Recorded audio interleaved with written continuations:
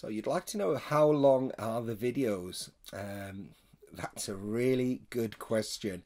Uh, now, with regards to the video testimonials, those can be the recorded part, then can be up to 50 seconds long. Now, bearing in mind, you can add your custom video opener of up to 10 seconds, and that same opener or that animated logo will be at the end of the video too. So your video is likely to be there around a minute or just over a minute long. Uh, with regards to video emails, branded videos, and the case study or story videos, uh, with those, the recorded parts are around 90 seconds long. So in the case of the case study videos, obviously you'll have the up to 10 seconds for your video opener.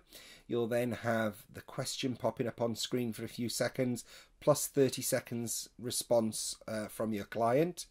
Uh, then the next question with 30 seconds response, and the last question with 30 seconds response, and then also your up to 10 second uh, animated logo at the end. So it's still going to be under two minutes.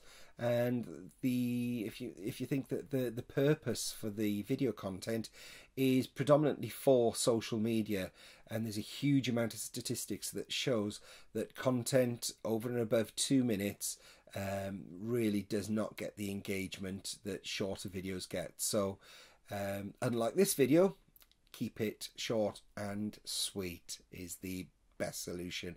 But if you just remember 50 seconds in the testimonials, 90 seconds elsewhere, give or take a few seconds that are going to be used for uh, adding in the animation and the you know the captions etc that you're seeing on screen. So i hope you find that useful but please drop me a line and let me know if you've got any queries. Bye bye